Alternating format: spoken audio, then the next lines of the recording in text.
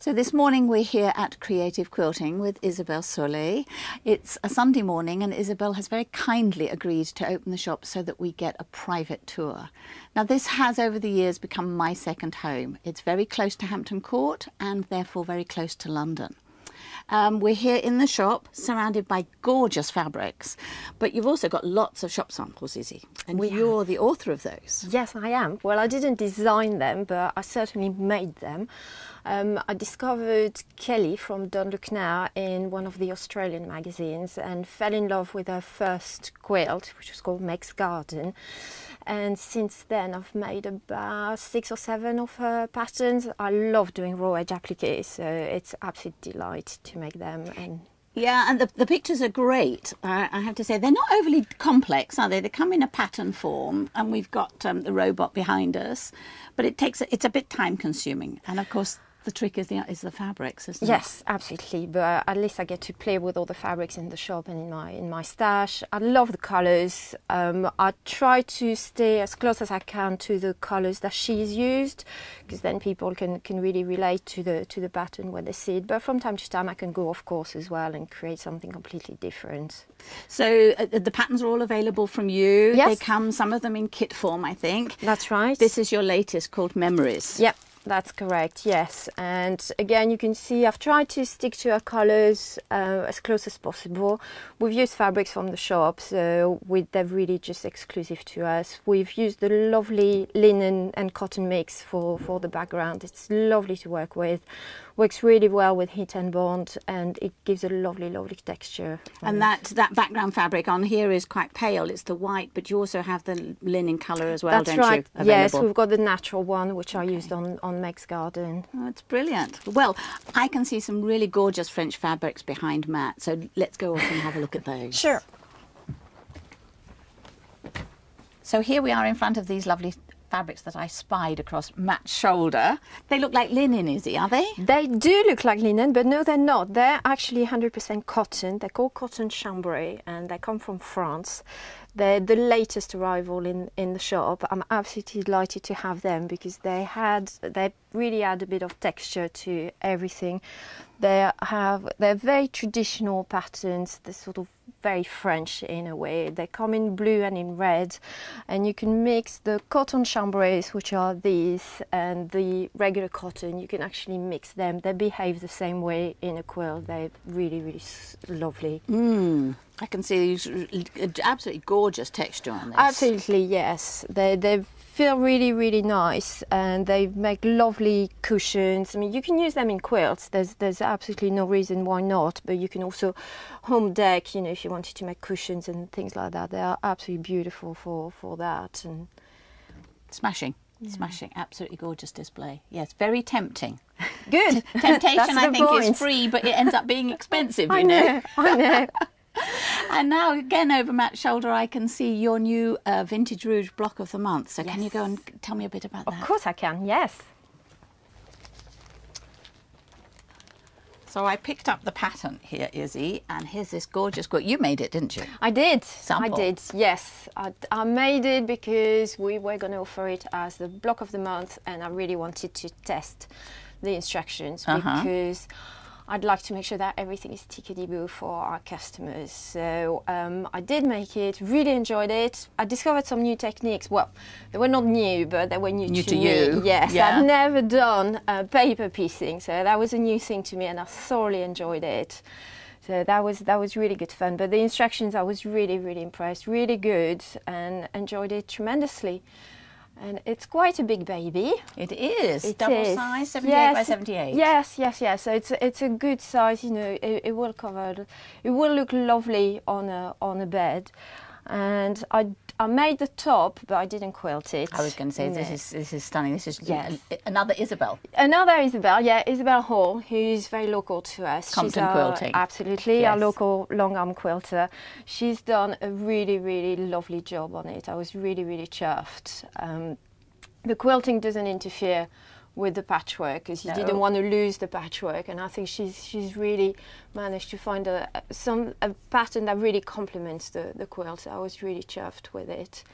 Yeah. And- really lovely. Yes, really yes, lovely. yes. So, and this is uh, you're offering this complete the fabrics. It's the only colorway, and it's over how many months? It's over six months, Oh, so quite you get time. it. Yeah, so you can have it ready for Christmas if you want. you know, if Which you Christmas? now- Yes, Which- exactly. Well, when you say you're going to make something for Christmas, just don't put a date after the word Christmas. Absolutely, absolutely. Well, I think that's absolutely super easy. Um, talking about threads, uh, which we kind of did with the quilting, can we go and look at your thread supply? Of course we can. Yes, follow me.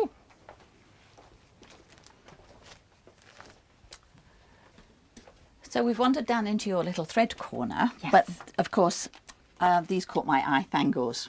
You get me demonstrating these a lot, know. and I just love them. I have to say, they're They a great, great. idea, aren't they? Yes. Yes. Yes, they're a great system to make half square triangles. We stock the whole range. There's there's quite a lot of sizes available, and of course the best seller is the two inch finish, the one you're holding, because they work fantastically well with jelly rolls or you know, two and a half inch strips. Yeah, they're not a new idea, but I really do feel they came of age with the with the introduction of the jelly rolls. Yes, it just gives really so did. many options, doesn't Absolutely. it? So I'll just put this back on its stand, and uh, we're here in front of the stranded cottons. That's right. I yes. remember from my cross stitch days. but underneath we've got cotton pearly. Now people use those just as they are, don't they? You do, yes. You can use them for embroidery, and of course, we're next door to the Royal School of Needlework, so they they love those. But for quilters, they're really good for utility quilting and big The stitches. big stitches. Yes, they really make a statement on a quilt, and they can add a lot of colours as well. yeah, so thi- that- this is a variegated one, but it's um, I think commercially dyed. Whereas over your left shoulder we've got some hand dyed ones. That's right. we? Yes, the pearly threads again, not stranded, so you wouldn't split these, but they they're lovely. They're hundred percent cotton. They're made in um, South Africa, and you get three different colours on the card, so you can add a bit of variety to your Yeah. quilting. That would make the quilting these. really pretty. I think. really nice. Yeah, Yes, really good. And then on to you've got a huge selection here in the shop of machine threads. Yes, they're really spoiled. Um, again, variegated. The sulkies. They're a bit thicker, aren't they? The blendables, yes, they're 30 weight. So again, if you want to make a statement with your quilting, that is really the, the threads to use. They are variegated. The colours change it about every one inch or two, one inch or two inches. So they're really good on on small projects as well. You will get the change of colour. They're 100% cotton, and you can even use them for hand quilting Oh, I was as well ask you about want. that. Yes, okay. Yes, yes, yes. I would, I would wax them. You know, use use some sort of coating on them, but you can certainly like use thread them. magic or something. Absolutely. Because I think yes. beeswax is now hard to come by. We still manage to get. Do you? Yes, Okay. yes, yeah. We still Talk- stock it. Okay, talking about hand quilting, you've got hand quilting threads here, but these must not be used on um, the the machine because of that wax factor, Yes, isn't it? don't use hand quilting thread in your machine unless you want a new machine, in which case it's a really good thing to do because you will probably break the well, not break the machine, but you will Gets distort caught the in- in tension. the tension yeah, you will really it? distort the Yeah, tension, so you yeah. don't want to be doing that. But otherwise, you've got regular cotton threads here and lovely embroidery threads, all for the sewing machine. Yes, and we also Uh, got sorry. the InvisaFil up there, which were recommended to us by Philippa Naylor. And if it's good enough for Philippa, it's good enough for me. Absolutely. Absolutely love them. Um, is it invisible? it's almost invisible. It melts in the fabric, so you really But don't you- see it at all. You've It's- got a whole range of colours, though, so We do. it gives some sort of colour te- colour texture to it. It it does, yes, but it's you would sort of use the, the one if you're using it for, for quilting, you would then try to match it to your to your fabric so that you really lose it, lose the thread completely. If you More didn't want to see texture it. than thread. absolutely, yes, you're creating texture rather Alright. than line. You're absolutely right. And hand French hand quilting thread. French hand quilting thread, yes, slightly different colours from the Gutermann, so they're a really good complement to, to our range. They're slightly finer than the, the Gutermann, so some people absolutely adore them. Mm-hmm. So we, we do stock them as well. Good.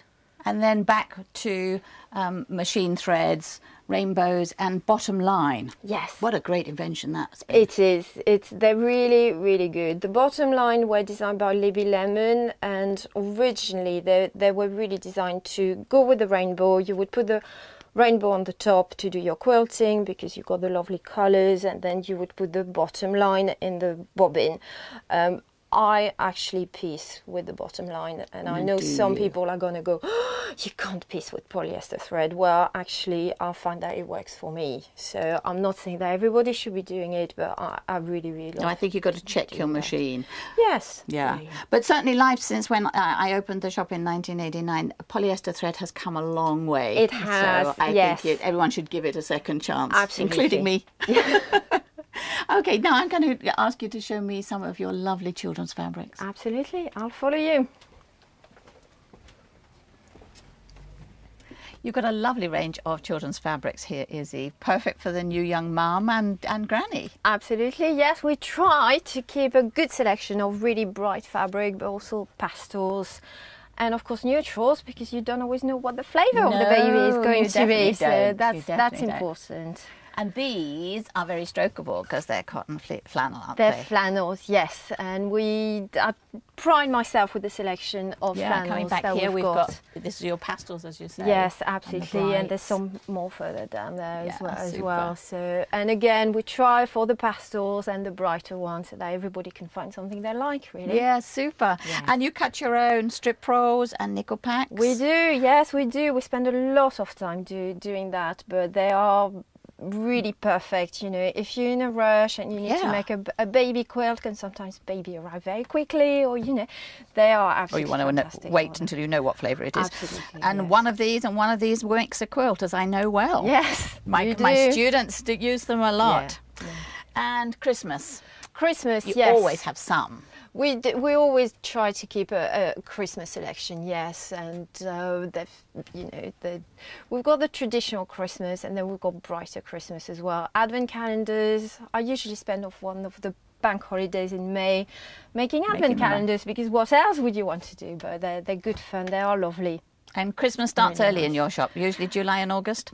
Oh, even even sooner than that. Yeah. The panels, the panel will start to arrive in, in May, May, June. They will start to arrive, and by the end of August, all of Christmas would have come in because you know, as you know, it can take some time to make a quilt or well, project. you need the time, don't you? Yeah, you do. You do. You do. Yes, yes, you do. You talked about it coming in. You've got a web. I mean, you've always had a really nice website, but you've now got online ordering. We do. Secure. So you're open 24 hours a day on the website, Absolutely, yes, we are. and, And almost every day of the week. The website certainly open every day of the week. The shop is open every day of the week as well. So uh, yes, Even on a Sunday. even on a Sunday, 12 till 4. Absolutely. Well, I can see from the clock on the wall behind you that I need to let you go It is and I let opening time, yes. come in. Thank you so much for showing us around. Thank you for coming.